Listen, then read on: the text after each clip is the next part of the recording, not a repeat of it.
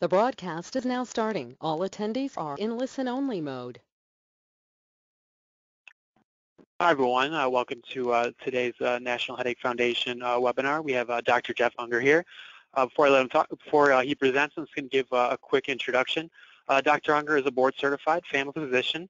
He directs the Unger Primary Care Concierge Medical Group in Catalina Research Institute in Rancho Cucamonga, California. He's authored two medical textbooks on diabetes and another on migraine headaches. He's an associate editor of the Journal of Family Practice and has published over 190 peer-reviewed manuscripts on diabetes and pain, pain management.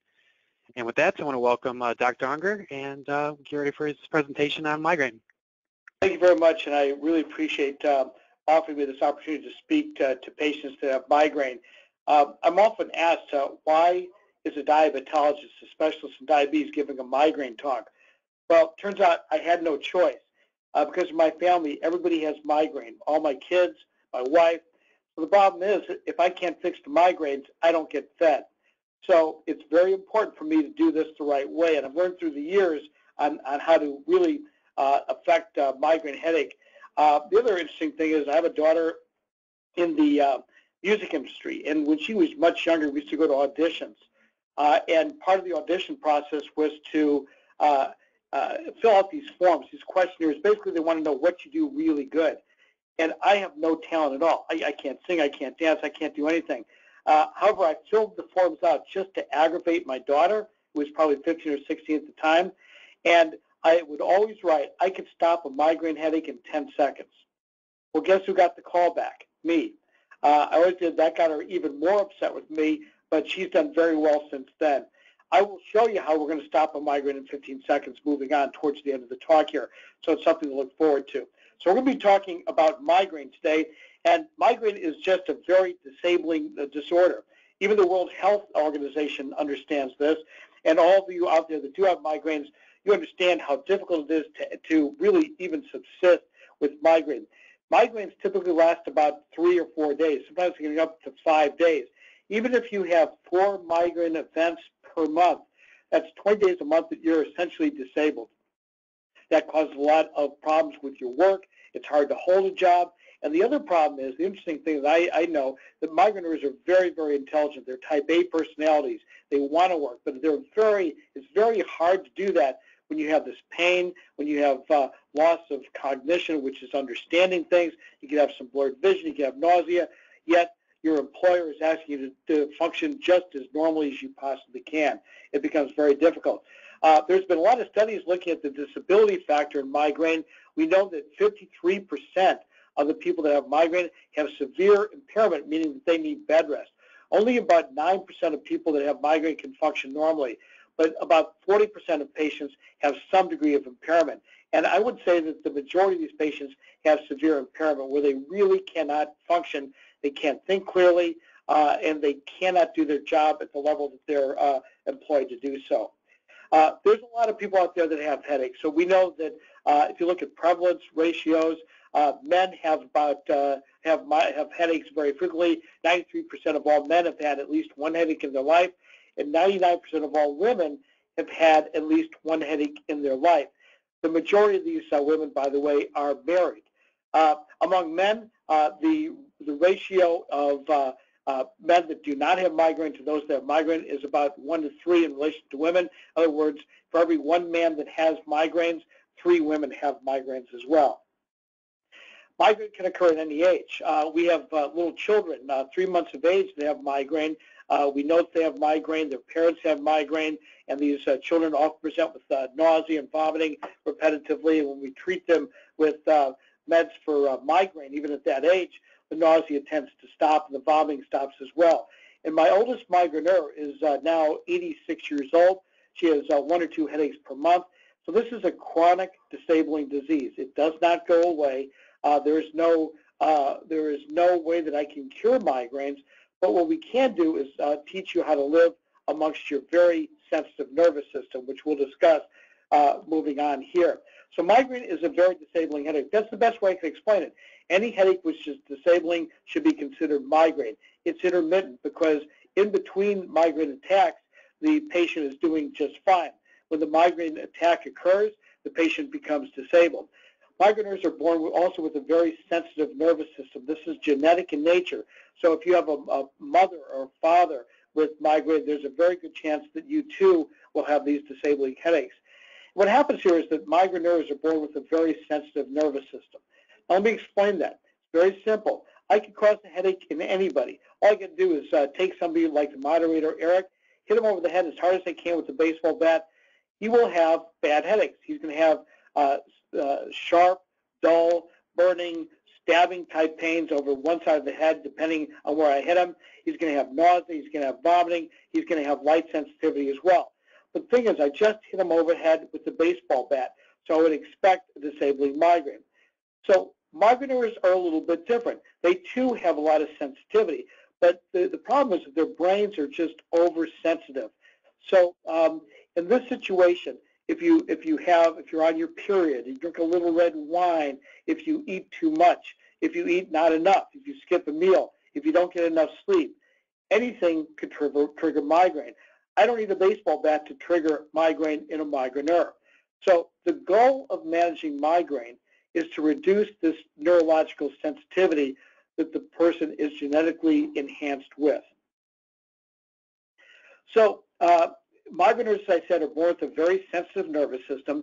We do know the cause of migraine. It is not due to uh, enlargement of the blood vessels or shrinking of the blood vessels. It is a neurological process. This is important to note because a lot of times migraineurs want to have an MRI done on their brain. There's got to be something structural there. In reality, that doesn't happen.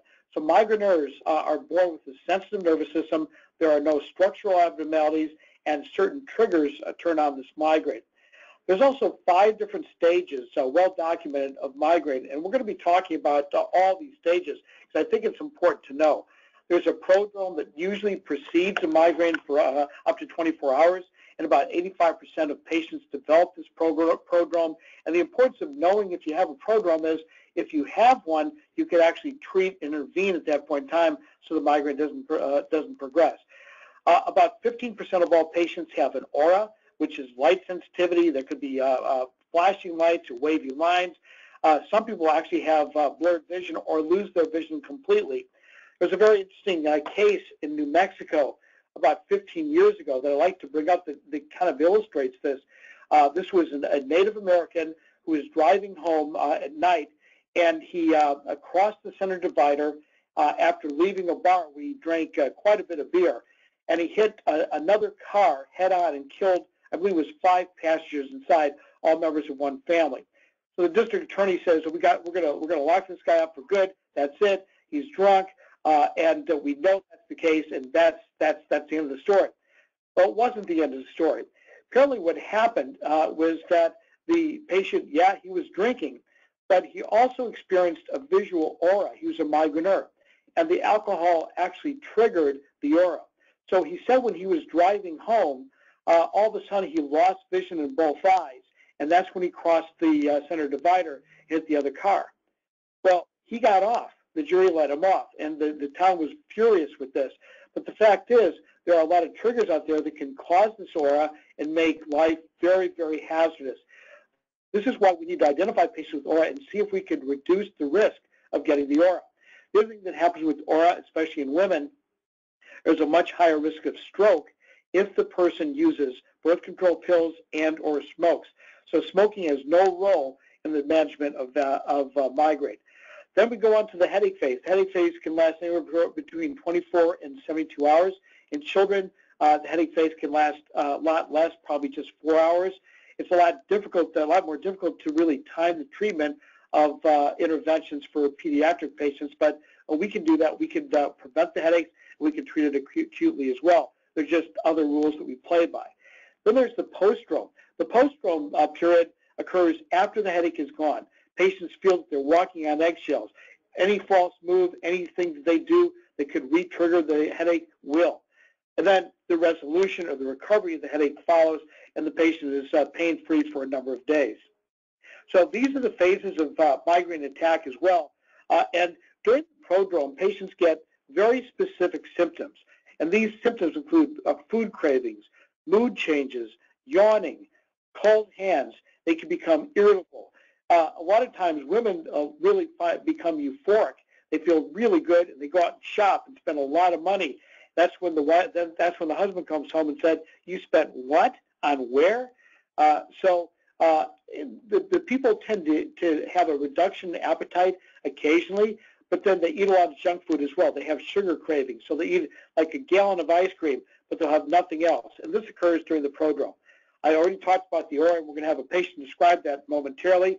The headache phase, during the headache phase, they become sensitive to light and sounds. They can have nausea, vomiting, uh, and if the headache persists for a long period of time, you could have actually pain outside of the brain. So you could have pain in your leg, pain in your arm, even pain in your ovaries associated with the headache. So I'm going to play this video here of a patient that is describing her prodrome. Uh, this occurs in a lot of patients. It's very important to know if you have a prodrome because if you do, the way we uh, suggest treating it is with a couple of Aleve. If you take the Aleve, most often the uh, headache will not reoccur or occur the following day.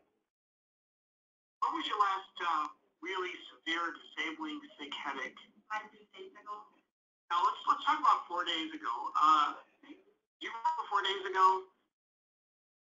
Yeah, and can you tell me, were you uh, feeling kind of moody on that day? Were you irritable? You anxious? You um, yawning? Were your hands cold? Uh, you having a hard time thinking? Uh, were people saying to you, uh, "What's what's up? You're not all there"? Uh, tell me, uh, you didn't have much of an appetite, did you? But uh, you mentioned that you were um, kind of uh, snacking. What kind of stuff were you eating? Uh, did you eat? uh, Did you really enjoy that snack once you got into it? No, I just had a little taste and it. I didn't even, I just like opened it, had a little bite and that's it. But the bottom line is that you knew that something wasn't right. You- You're feeling kind of out of sorts. Now, if you were to guess, would you would you say it, it's pretty safe to say that most of the time before you get one of your really bad headaches, you feel the same way about 24 hours before you get one of these headaches? Yes. All right, so that's a lady clearly describing a prodrome. Uh, we had her take a couple of Aleves uh, uh, when she got the next prodrome, and it, it aborted the headache right then and there. Here's a patient describing an aura. And notice what happens when she starts talking. This is very common. She starts using her hands to describe what she sees.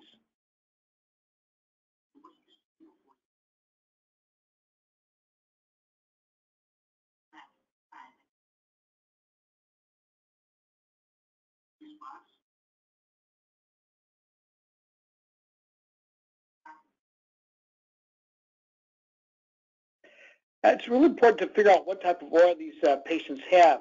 We can't really uh, abort the headache at the time of the aura, but they know that they're going to get a headache, and there's certain things that they can do immediately after the onset of the headache, which I'll show you coming up. So there's also a very interesting uh, phenomenon that occurs in people that have uh, headaches, and a lot of them think that they have just neck pain. They, they could have tension headaches, or they could have uh, uh, neck injuries. Some people come in and say they, they have a, a herniated disc. But in fact, 75% of all migraine occurs in the neck. And there's three branches of the nerve that is responsible for headaches. It's called the trigeminal nerve. The third branch of that nerve uh, goes to the neck. So when you have activation of the third branch of the trigeminal nerve, then you're going to get neck pain as well. So if you're constantly rubbing your neck, it could mean that this is actually migraine. Uh, then there's a process that occurs uh, after uh, having these headaches and not having the headache treated uh, acutely. If the headache lasts for more than four hours, people get allodynia, uh, which means that this is a painful response to a non-painful stimulus. So again, a non-painful, I'm sorry, a painful response to a non-painful stimulus. So let me give you an idea of allodynia before I talk about headaches. I think everybody on the line here, I, I, I checked, has had a bad sunburn. The sunburn is not allodynia, it's just pain. However, if you go home and you take a shower and the water hits the skin, that's allodynia. The, the skin hurts. And the water is not supposed to hurt the skin, but it does because the nerves are sensitive. So that's what happens to people that have prolonged migraine. They get this allodynia. Everything hurts. Combing their hair hurts. Shaving hurts. Moving the head back and forth hurts. Lifting, pushing, pulling, bending, wearing a hat, putting on sunglasses. even putting on clothes. All of this hurts because the brain is highly sensitized at this time. And the problem is once you get to the stage of allodynia, it's really tough to fix migraines. As you'll see, we want to fix migraine before you get to the stage of allodynia because these people get really, really sick. So let me show you a little video here about what happens in migraine, why people get migraine. It's a nice little video, and I'm going to stop and start it. So what happens here is that you have a wave, what we call uh, cortical spreading depression. It goes from the back of the brain forward. And you remember that lady that had the aura? She said she had white spots and dark spots. So this is a wave of positive, positive cortical spreading depression. At this point in time, the patient's probably having an aura with white spots. But this is negativity. So as this moves forward, you're going to see white spots changing to black spots. What this wave of spreading cortical depression is doing is turning on or activating the trigeminal nerve. Now, what I mean by activation is, let's just say you walk into a room, it's dark. You find the light switch, you turn on the switch, and now the room is activated with light. It's the same thing with migraine. We are activating the trigeminal nerve. And what activates the nerve are certain chemicals. We call them neurokinins, neurotransmitters, and this is it going forward. There's the wave of cortical spreading depression. You see the white spots first, then the dark spots that follow. Some people don't have aura, so not everybody's going to have this particular picture. But as it moves, as this wave moves forward at a specific rate of speed, this is the trigeminal nerve over here, and it's wrapped around the meningeal artery. So what's going to happen is that there's a release of chemicals. You can see them there, there the spots. Those are chemicals that's causing the uh, uh, meningeal artery to actually throb, get bigger and smaller, bigger and smaller. And that hurts like a son of a gun. So when that occurs, there is what we call bidirectional flow. So the impulse, this is the trigeminal nerve. This is the first branch over here. This, this goes to the top of the head. This is the second branch. It goes to guess where? The sinus area. So if you think you have sinus headaches, you probably don't. It's most likely migraine. And then this is the third branch over here that goes to the neck. So you can have activation of one, two, three, or all three of these areas. So when it's activated, there's an impulse that runs backwards into an area which is called the trigeminal nucleus caudalis. So, so the TNC takes this impulse, you'll see it come up here, and if the impulse goes down into the lower part of the brain, called the superior salivatory nucleus, guess what's going to happen? You're going to puke. If the impulse goes up, you're going to get pain. So once the impulse goes to the top of the brain, this is called the cortex, you're going to feel a lot of discomfort. And this is what we also call central sensitization. Around this time, the patient has this allodynia. Everything hurts. Nothing feels good. Uh, the patient is essentially disabled due to this pain. There's an area in here, you can't really see it very well with this picture, uh, but it's called the PAG, or the uh, uh, gray. So in order to turn off this headache, the brain has to send an impulse right over here to the periaqueductal gray, which shuts off the migraine, everything starts going away. Now, I know that you've experienced this PAG before. If you've ever stubbed your toe, you stub your toe, it hurts, but it doesn't hurt right away. It kind of comes on in a, a, a millisecond. You know it's going to hurt like crazy, and then the pain starts going away in about three seconds. That's the periaqueductal gray talking. The problem with the PAG is that if you have lots and lots of headaches, there could be structural changes in this area called the PAG, and that makes the headaches even worse. So that's what causes uh, all these migraines. It's a it's a uh, it's a genetic issue. It also has to do with uh, spreading cortical depression. It has to do with the ability of the brain to turn off migraine. So there's a lot of different factors here that are important in figuring out uh, the cause and the treatment of migraine. So what is migraine? According to the rules, you have to have one side that's affected. It should be pulsating. It should be moderate to severe in intensity. It's worse with movement. There could be light and sound sensitivity, and there could be nausea and or vomiting.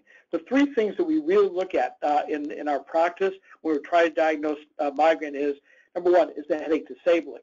Can you go to school? Can you go to work with the headache? Number two, have you had any light sensitivity uh, with any of these headaches? If you have, that's, that's a positive indicator of migraine. And number three, uh, are you nauseated? If all three of these show up in your uh, personal experience, most likely you have migraine. Uh, so I showed you that trigeminal nerve before. Here it is again. This is the first branch of the trigeminal nerve, goes to the forehead. This is the second branch of the trigeminal nerve, and this goes into the face where the sinuses are located. So a lot of times patients think they just have sinus infections. So what does the doctor do? Uh, if, if, a patient says, you know, I got sinus infections, we're going to give you an antibiotic, and guess how long it takes to work? About two to three days. That's how long a migraine lasts. So the patient says, aha, it must have been a sinus infection because this antibiotic uh, caused a uh, uh, the the headache to stop. Sinuses are clear now. And then a week later, guess what happens? The headache comes again and again and again. So you're always going to have sinus inflammation, and you're always going to be treated with uh, antibiotics. The problem is that these are not sinus headaches. It's activation of the second branch of the trigeminal nerve. So these are, for those of you that think you might have sinus infections, let's check it out. In order to have sinus infections, you have to have a yellow or green uh, uh, mucus discharge from your nose. You have to have nasal congestion or obstruction. There has to be fullness in the face as well. There has to be pain, a little bit of facial pain and pressure. Uh, very important, you have to have loss of taste or smell. Some people have bad breath as well. And you should have uh, fever uh, with acute sinusitis. There's some minor issues as well, but the minor issues include headache. So yeah, sometimes you get a little bit of headache, but it's not always bad. There could be some ear pain as well, cough, so forth. This is an interesting picture. This is a guy that we took a picture of that claimed he had uh, uh, really bad sinus headaches. And he was complaining of pain on this side, so the left side. This shows an, what we call an air fluid level in the right maxillary sinus. He was asymptomatic there. He had no idea that was there. He was having pain in this area, and in fact, uh, he was having really bad migraine headaches. So for those of you that are non-believers, uh, this is a study that was done by Kurt Schreiber. Uh, very interesting. This is what the nose looks like. This is the middle turbinate right over here. This is the nose uh, looking in. And this isn't a patient that comes in with self-diagnosed sinus headaches. You can see that there's a big space between here and here. And now what he did was he had the patient return when they had their headache. So when they thought they had a sinus headache, they show up, and you can see what happens here. There's inflammation in the nasal passages. There's this clear discharge. It's not green. It's not yellow. The turbinate is a little bit swollen over here. And then what Dr. Schreiber did was he gave them an injection of Imitrex, which is an acute medication for the treatment of migraine. Uh, Imitrex does not work, or sumatriptan does not work in patients that don't have migraine headaches. It does absolutely nothing, and it's also injectable. So then he took another picture, and you can see that in this case, the air uh, airway is increasing in size, the, the turbinate is actually decreasing in size as well, and the discharge has gone away within about a half an hour of uh, getting the Imitrex. So these are patients that think they have, mig- uh, think they have uh, sinus headaches, but in fact they, they actually have uh, migraine. So how do we treat all this? There are many different therapies. There's acute therapies. How do we knock it out right now? Uh, there's uh, drugs that we can use to uh, preempt the, the headache, that is prevention. And there's also ways that we can treat this, uh, what we call uh, abortive therapy. Uh, so in that situation, if nothing else works, this is what we can do. We're going to show you some of these options.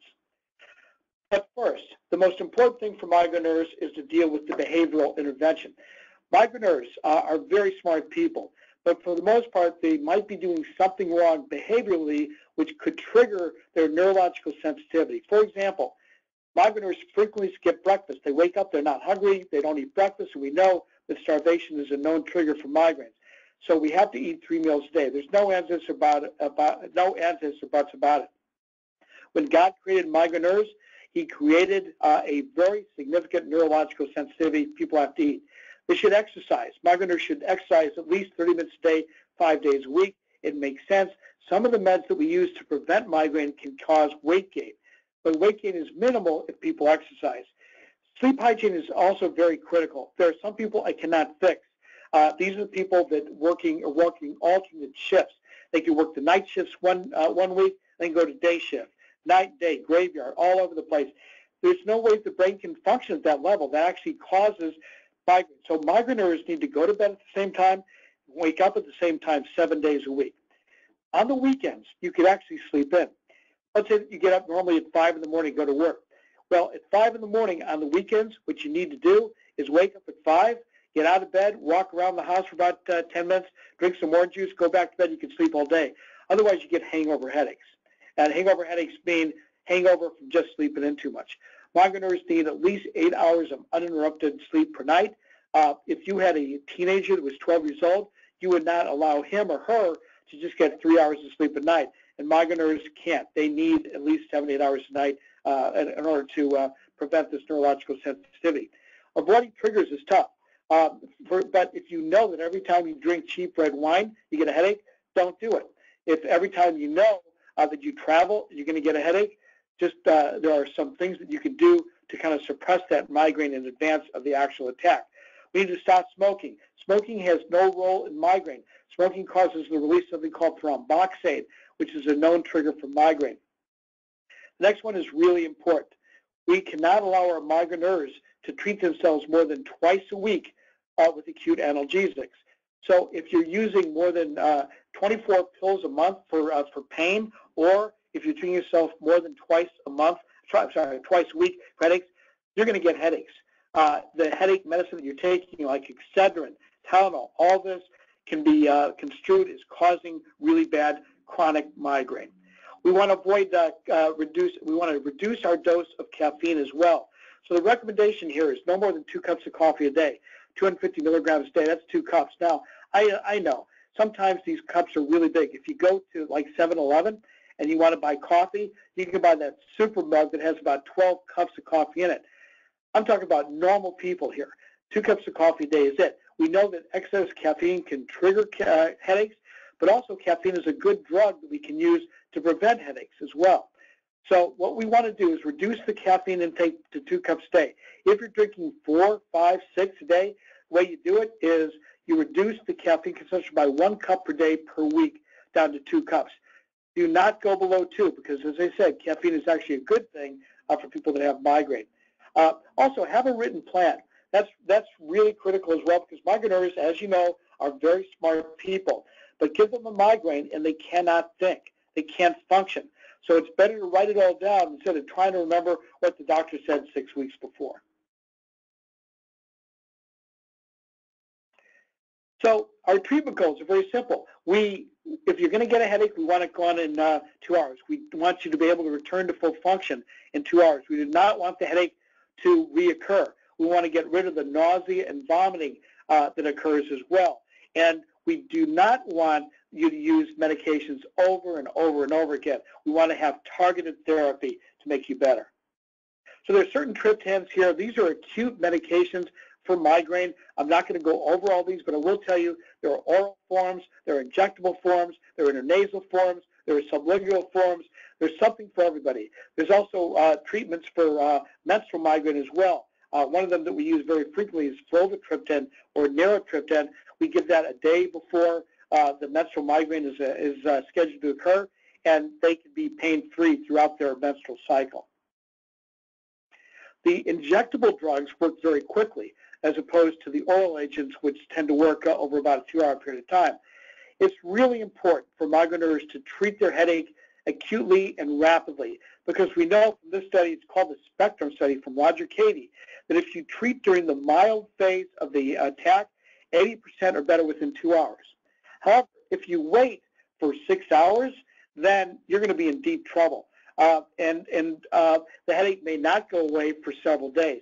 We've got that period of time before the brain gets sensitized. You saw that, that video that I showed you before. We want to make you better quicker. So as soon as the migraine comes, you treat.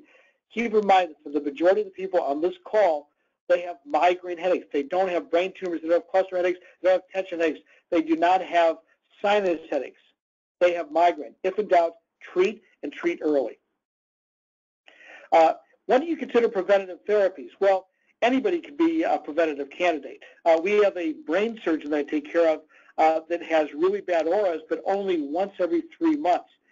So you would not want him uh, operating on your brain when all of a sudden he can't see. So we have him on uh, medications that prevent those headaches, and he's doing very, very well.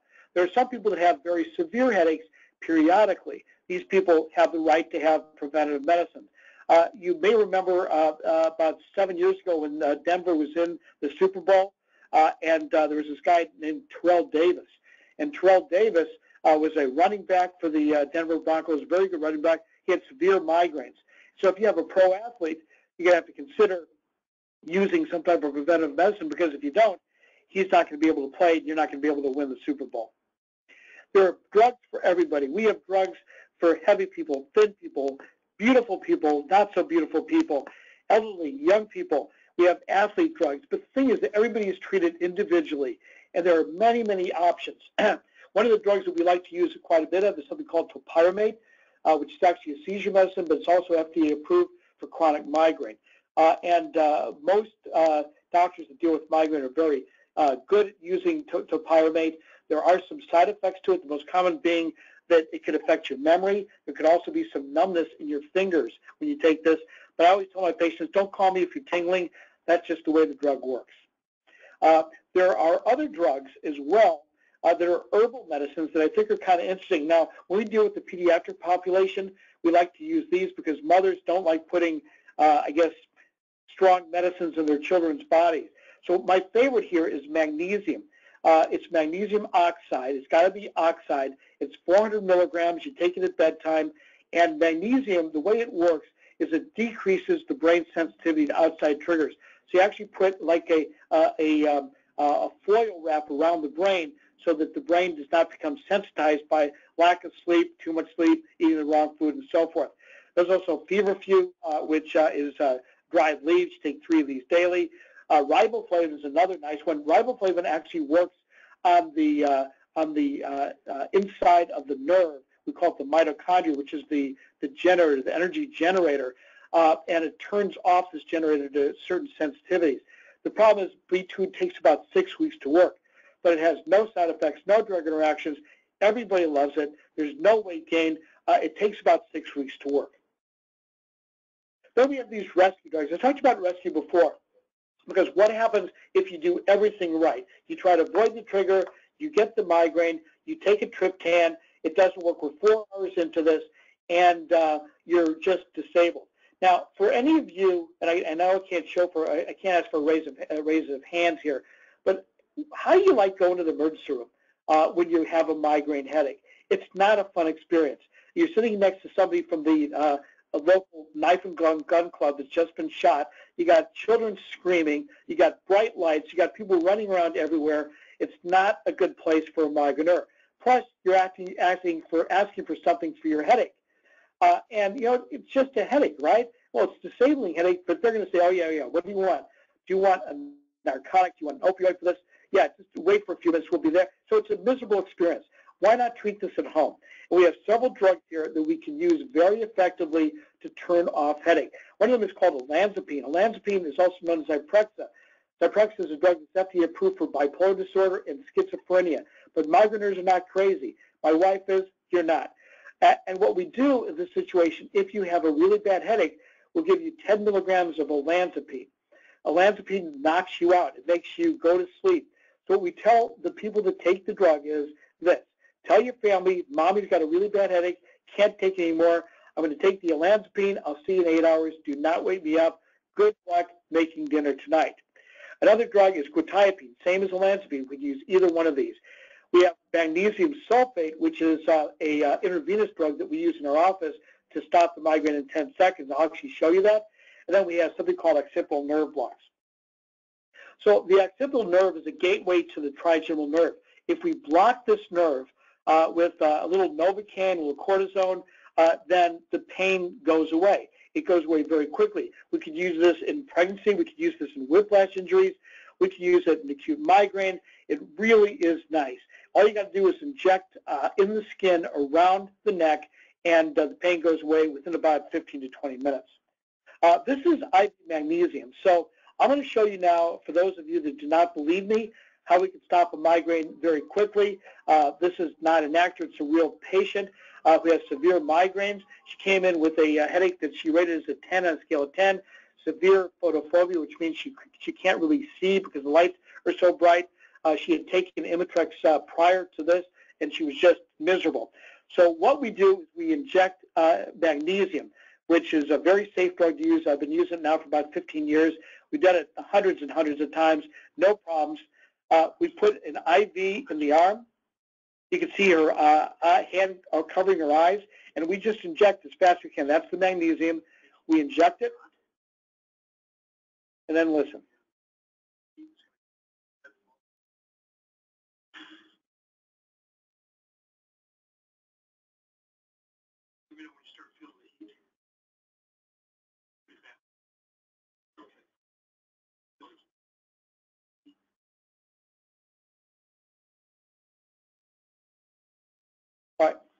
That's about 12 seconds, and the headache's gone.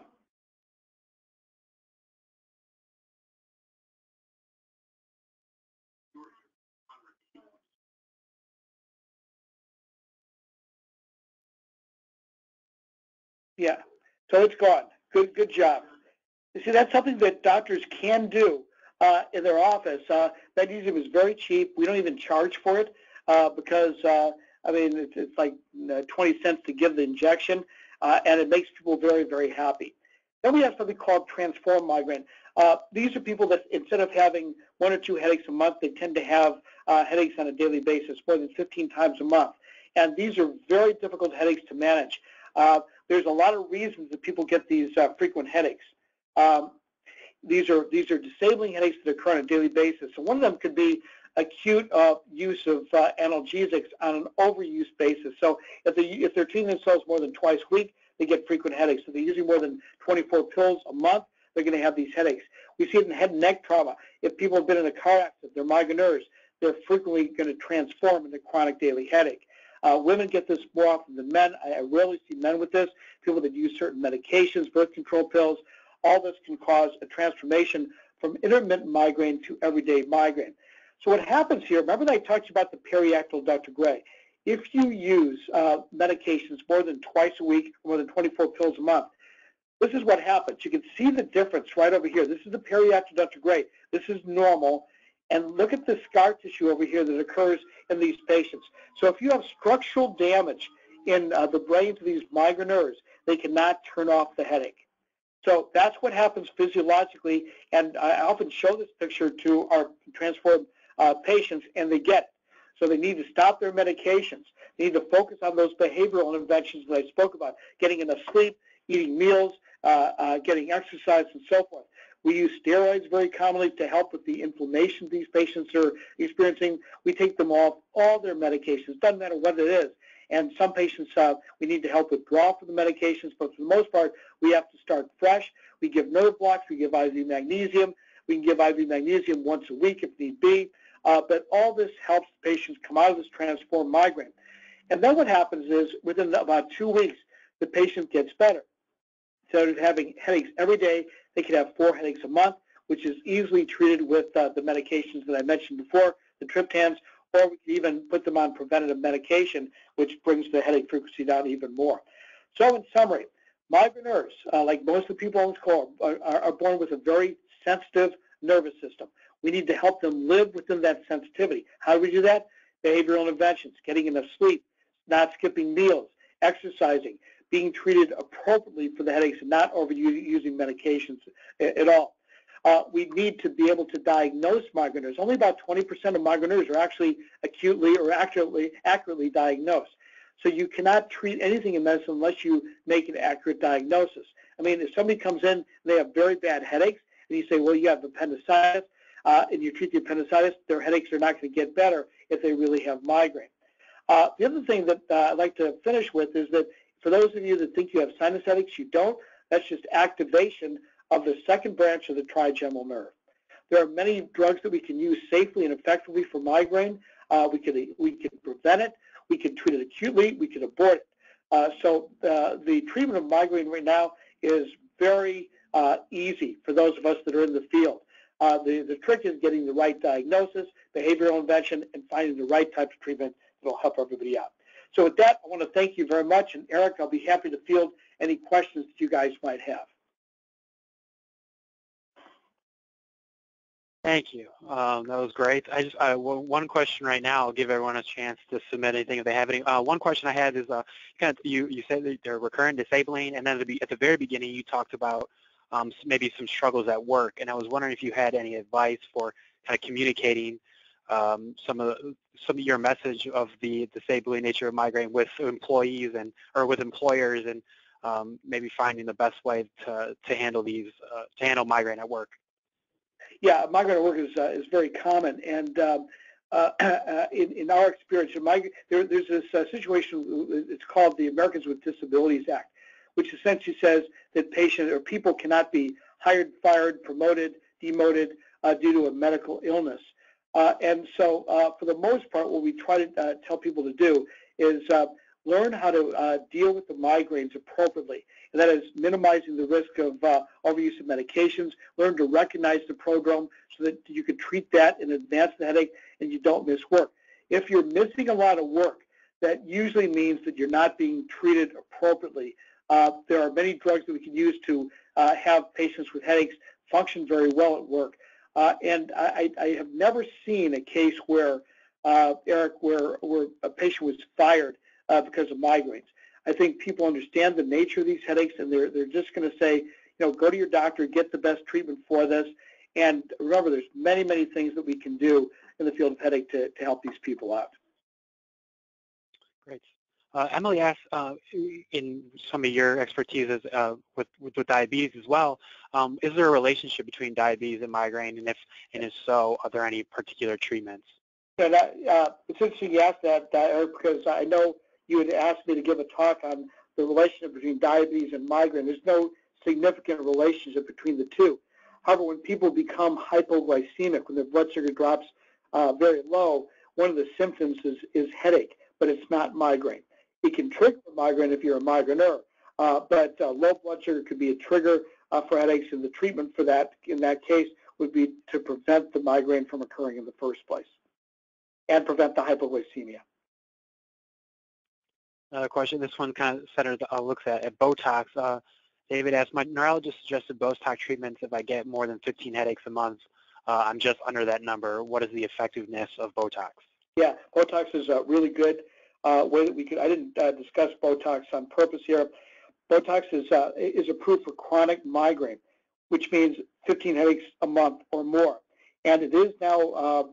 I guess most insurances are covering that for this indication. Uh, we use uh, quite a bit of Botox uh, and works very well. the trick is to find a headache specialist or what we call an injector, somebody that does Botox injection, injections because this is not really for cosmetic use. Eric, what we have to do is give the injection in, in predefined uh, spots in the uh, forehead, side of the head, and neck.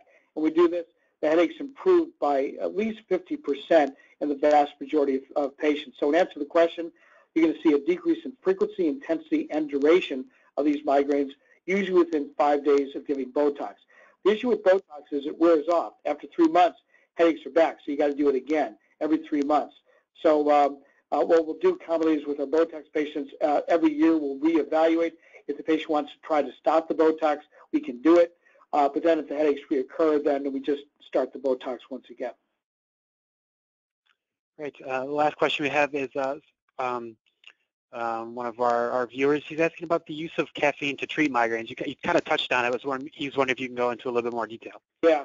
Uh, so uh, uh, that I like I like that question. Uh, we had a patient yesterday because uh, I do um, concierge medicine. Some of our patients are in different states, sometimes different countries, and they call.